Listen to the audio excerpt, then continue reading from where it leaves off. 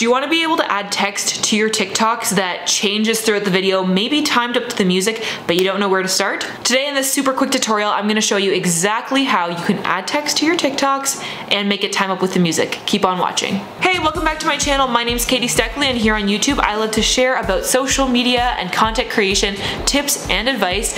Make sure you hit that subscribe button and tap the notification bell so you don't miss any of my future videos. I upload twice a week and I wouldn't want you to miss a single one. Alright, let's dive into it. Let's make a TikTok.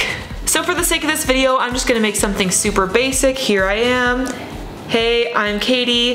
Here's something I wanna say, and here's something else that I wanna say. That's it. Whatever your TikTok looks like, that's totally fine. Maybe you're making one of those nope, yep videos. Whatever it is, it doesn't matter. We're gonna use the same method. Once you've got your TikTok filmed, you're just gonna hit that check mark button, and after it loads, we're gonna start adding the text. You can tap on the two A's in the bottom of the screen to start typing. Here is my first point. Then you can change the font or the color, really whatever you prefer. I like using this font. Then I'm gonna hit done. Now I can move it around and put it up where I first pointed to, if that's where I want it to show up. Then all I'm gonna do is tap on it press set duration and then this screen is gonna pop up where I can change when the text shows up throughout the video. So I'm just gonna scrub through and basically tap and drag that red bar and I'm gonna find that point where I actually point to it and I'm gonna stop. That's where it's gonna start. Then I'm gonna click and drag that red bar from the right hand side over and kind of follow, okay, that's when my finger moves, so then I'm gonna leave it there. Once I'm happy with the duration that I've set and I can move around this white bar and press play to see if I like when it appears and when it goes away, okay, I think I'm happy with that. So I'm gonna click the check mark and now as I watch my TikTok, the text will appear and disappear to the timing that I originally set.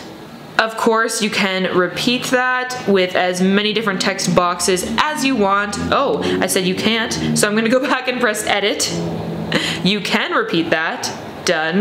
Now I'm gonna place it where I want, tap it, set duration, and just once again, I can drag that pink slash red bar around and set when I want it to show up and when I want it to go away. Just note that it has to be at least a second long.